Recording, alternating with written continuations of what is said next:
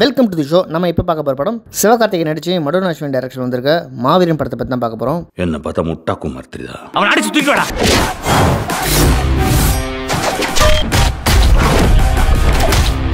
மா மாவீரன். இந்த உடம்புல சுகர் இருக்கவங்களாம் டெய்லி வாக்கிங் போவாங்க லைட்டாக ஜாகிங் போவாங்க. இந்த படத்தில் சிவகார்த்திகேயன் ஒரு பாட்டுக்கு டான்ஸ் ஆடுவார்.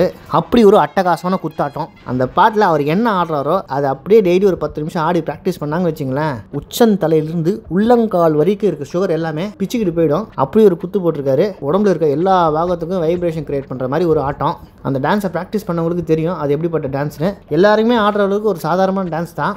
ஆடி பாருங்கள் ஒரு அற்புதமான எக்ஸசைஸ் அது. இந்த படத்தின் மூலம் சிவகார்த்திகேயன் எல்லாருக்கும் ஒரு அருமையான விஷயத்தை இன்டெரக்டாக காமிச்சிருக்காரு. எங்கள் வீட்டில் கூட அதெல்லாம் பண்ணி பார்த்தாங்க. நல்லா ஒர்க் அவுட் ஆச்சு. நீங்களும் ட்ரை பண்ணி பாருங்கள் நிச்சயம் மிகப்பெரிய நன்மையை கொடுக்கும். ஒரு வருஷத்தில் எத்தனையோ தமிழ் படங்கள் ரிலீஸ் ஆகுது. அதில் குறிப்பிட்ட ஒரு சில படங்கள் மட்டும்தான். நம்ம படம் பார்த்து முடிச்சு ரெண்டு மூணு நாள் கழிச்சு கூட அந்த படம் சம்மந்தப்பட்ட காட்சி டயலாக்லாம் நம்ம மைண்டில் ஓடிக்கிட்டே இருக்கும். எப்போ ஒரு படம் மக்கள் மத்தியில் அப்படி ஒரு தாக்கத்தை ஏற்படுத்துதோ அந்த படம் தான் உண்மையான வெற்றி படம். அந்த படம் பாக்ஸ் ஆஃபீஸில் அவ்வளோ கலெக்ட் பண்ணிச்சு. இல்லை சரியா ஓடலை அட்ரு ஃப்ளாப்பு அப்படின்னு என்ன சொன்னாலும் நல்லதோ கெட்டதோ அந்த படம் சம்மந்தமாக நம்மளை சிந்திக்க வச்சார்ல அங்கேயே அந்த படம் ஜெயிச்சிடுச்சு.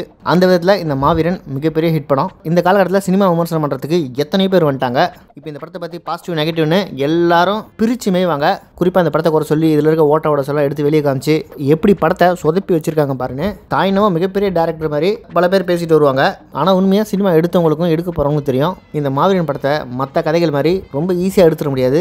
இந்த படத்துடைய கதை திரைக்கதை ரொம்ப ஸ்ட்ராங்காக இருக்குது சிவகார்த்தியை தவிர்த்து வேறு யார் நடிச்சிருந்தாலும் கூட இந்த படம் நிச்சயம் பார்க்குற மாதிரி தான் இருக்கும்.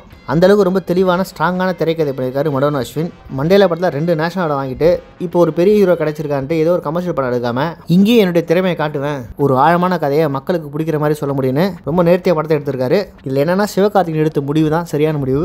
இந்த மாதிரி ஒரு நல்ல கதையில் நடிக்கும்போது நிச்சயம் அவர் மென்மேலும் வளர்ந்துட்டே போவார். தனக்காக கதை பண்ணுறவங்களை விட்டுட்டு இது மாதிரி ஒரு நல்ல கதைக்குள்ளே போய் உட்காந்தாருன்னா அதுவே வெற்றியின் வழி. இந்த படத்தில் வர அந்த சூப்பர் ஹீரோ கேரக்டருக்கு விஜய் சேதுபதி வாய்ஸ் கொடுத்துருக்காரு. விஜய் சேதுபதி குரலில் சிவகார்த்திகேயன் நடிக்கும் மாவீரன் டைட்டில் போடுறாங்க. நல்ல விஷயம்தான். மார்க்கெட்டிங்காக அந்த வேலையை பண்ணியிருக்காங்க. ஆனால் அவருடைய வாய்ஸ் இந்த படத்துக்கு மிகப்பெரிய பலமாக இருந்தால் கேட்டிங்கன்னா உண்மையிலேயே அவருடைய வாய்ஸ் அந்த ஒர்த்து இல்லை. ஒரு கோழையாக இருக்க ஒருத்தன் மாவீரனாக மாறுறான். அவனுக்கு மேலேருந்து ஒருத்தன் இன்ஸ்ட்ரக்ஷன் கொடுக்குறான்னா அது எவ்வளோ பவர்ஃபுல்லாக இருக்கணும். உதாரணத்துக்கு டாம் ஹார்டி வெனம்னு ஒரு படத்தில் நடிச்சிருந்தாரு. அதில் வெனம் கேரக்டர் வரும்போது ஒரு வாய்ஸ் ஒன்று வரும். அப்படி ஒரு பேஸில் கரகரன்னு மிரட்டி விடும். அப்படி ஒரு குரல் படம் ஃபுல்லாக ட்ராவல் ஆச்சுன்னா அதுதான் உண்மையான பவர்ஃபுல்லான வாய்ஸாக இருந்திருக்கும் இந்த படத்தில் ப்ளஸ் நினச்சி அந்த வேலையை செஞ்சுருக்காங்க. ஆனால் அது ரொம்ப சுமாராக தான் வந்திருக்கு. சிவகார்த்திகன் ஒரு ஓவியர் ஸ்டோரி போர்டு மூலமாக கதையை சொல்லிட்டு வராரு ஒரு கட்டத்தில் அந்த ஓவியத்தில் வர ஹீரோ நீ என்ன என் கதையை வரையறது நான் உன் வாழ்க்கையை வரைகிறேன்ட்டு அவர் உள்ளிருந்து சிவகார்த்திகனை ஆட்டி படிக்கிறாரு. அதான் இந்த படத்துடைய கதை. இந்த கதைக்குள்ள மக்களுடைய குடிசை மாற்று வாரியம் சம்மந்தப்பட்ட சமீபத்தில் இருந்த ஒரு மிகப்பெரிய பிரச்சனை கையில் எடுத்து கவர்மெண்ட் அப்பார்ட்மெண்ட்ன்ற பேரில் மக்கள்கிட்ட ஊழல் பண்ணி ரொம்ப மட்டமான கட்டிடம் கட்டி ரொம்ப மட்டமான வீடு கட்டி கொடுத்து எப்படி கொள்ளையடிக்கிறாங்க? இதனால் மக்கள் எவ்வளோ அவஸ்தப்படுறாங்கன்றது தான் பேஸ் எடுத்து பண்ணியிருக்காரு. எங்கேயுமே இந்த மையப்புள்ளி விட்டு விலகாமல் இதை சுற்றிய கதை நடக்கிறது இந்த படத்துடைய மிகப்பெரிய ப்ளஸ் நிறைய பேர் சொல்லுவாங்க என்ன சுற்றி சுற்றி ஒரே இடத்தையே காமிச்சிக்கிட்டு இருக்காங்க அப்படின்னு. மண்டேல படமும் இதே மாதிரி தான். சுற்றி சுற்றி ஒரே விஷயத்தை தான் படம் ஃபுல்லாக சொல்லிட்டு வருவாங்க.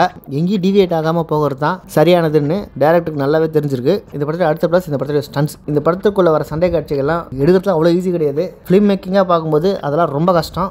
மேலே விஜய் சேதுபதி டைலாக் சொல்ல அதை கேட்டு ஹீரோ ரியாக்ஷன் பண்ணால் அதுக்கு ஒரு ஸ்டண்ட்டு க்ரியேட் பண்ணி சண்டையில் ஏதோ ஒருத்தர் ரெண்டு பேர் ஃபேஸ் பண்ணால் பரவாயில்ல. சுற்றி ஒரு பத்து பேரை சமாளிக்கிறாரு. அந்த சீனை எங்கேயுமே குழப்பாமல் அவ்வளோ கிளாரிட்டியாக கொடுத்துருந்தாங்க.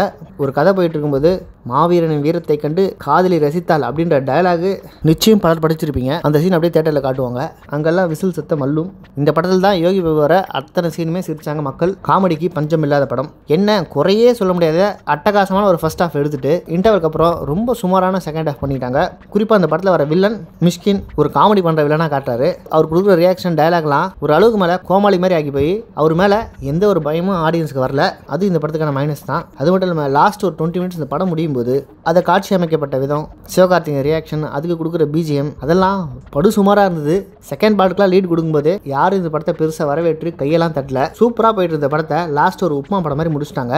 படத்தில் லாஸ்ட் ஒரு பத்து நிமிஷம் மட்டும் அனிருத் கையில் கொடுத்துருந்தாங்கன்னா இந்த படத்தை வேற லெவலில் எலிவேட் பண்ணி போய் விட்டுருப்பாரு. அங்கே நல்லா தெரியுது மடோன அஸ்வின் ஒரு புது டேரக்டர் தான் அப்படின்றது. படத்தில் இந்த மாதிரி சின்ன சின்ன குறைகள் இருந்தாலும் பார்த்தே தீர வேண்டிய ஒரு அற்புதமான படைப்பு இது.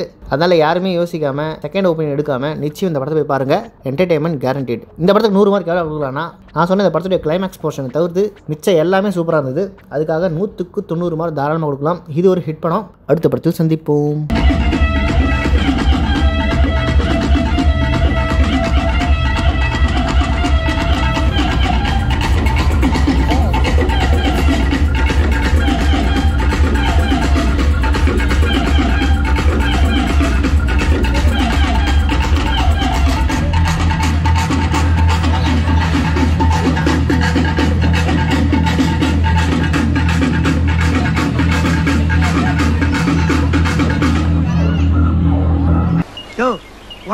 போயா?